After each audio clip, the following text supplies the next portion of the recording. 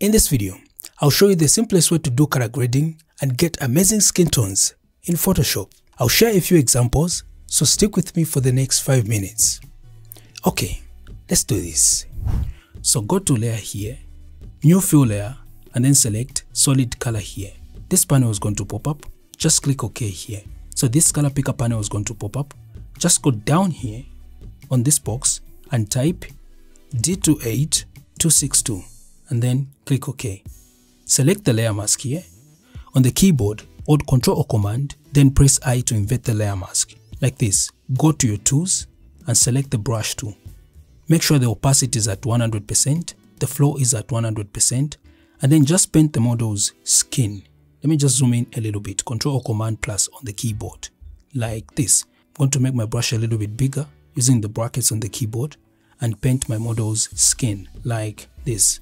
So if you like this video or if you've learned something from this video, please give it a thumbs up. And if you want to see more videos like this one, don't forget to subscribe and smash that bell icon so that when I put up my next video, you will be notified.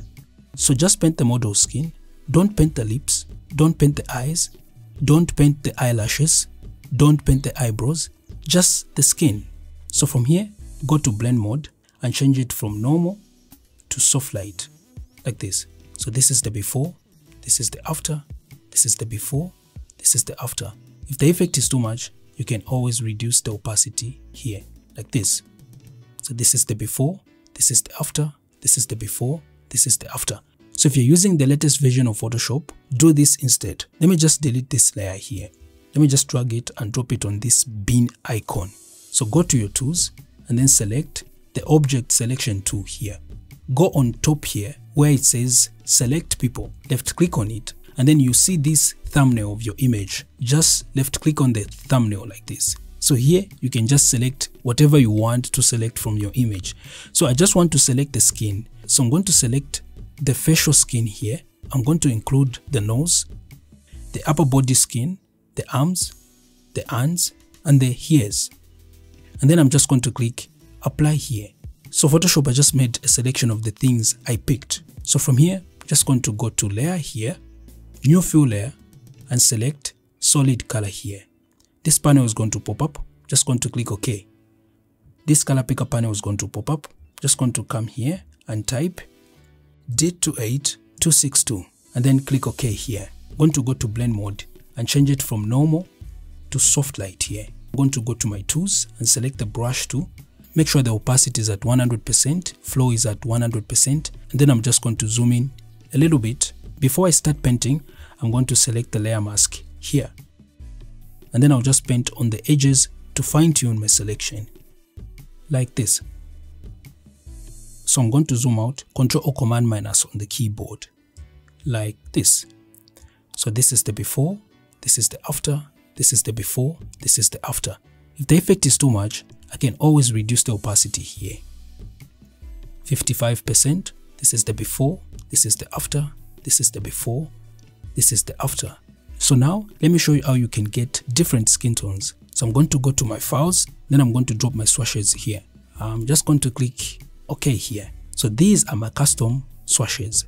So on the solid color here, I'm going to double click on it and then the color picker panel is going to pop up. So instead of adding the color code here, I'm just going to pick the skin tones from here, like this.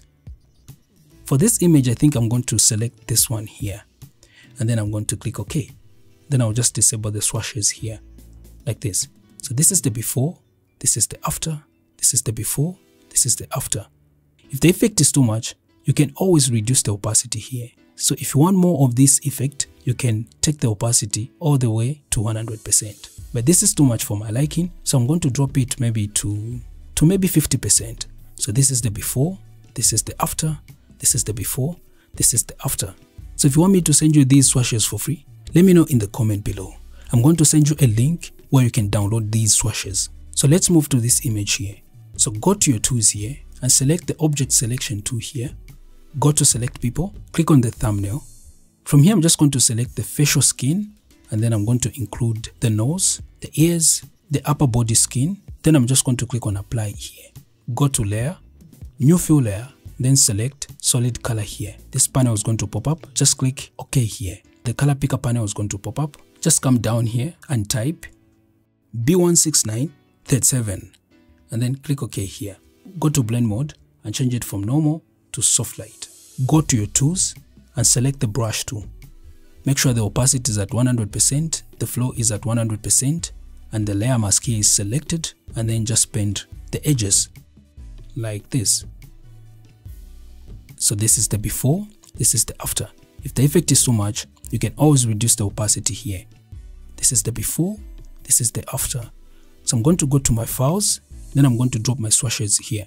Just going to click OK and zoom out a little bit. Okay, so I'm going to go to my tools and select the move tool and then just drag this down here.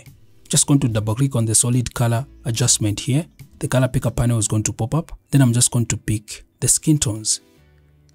So for this image, I can pick this one or even this one is okay. And then click OK here. I want to disable the swashes here.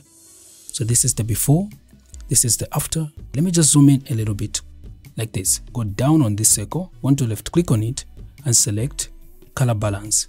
On the midtones here, I'm going to drag the cyan to 10. Magenta, I'm going to leave it at 0. Yellow, I'm going to take it to negative, negative 5. On the tone here, I'll change it from midtones to shadows. Cyan, I'm going to leave it at 0. Magenta, I'll leave it at 0. Yellow, I'm going to take it to plus 5, like this. I'm going to change it from shadows to highlights. Cyan, I'm going to leave it at 0. Magenta, I'm going to leave it at 0. And then yellow, I'm going to take it to plus 5. And then I'm going to close this panel. So this is the before, this is the after. If the effect is too much, I can always reduce the opacity here. So this is the before all the adjustments, this is the after, this is the before, this is the after. If you want to retouch fast and level up your retouching skills, you should check out my beauty retouching actions pack. The links will be in the video description below. And if you'd like to learn how to get unlimited color grades in Photoshop, you should check this video here.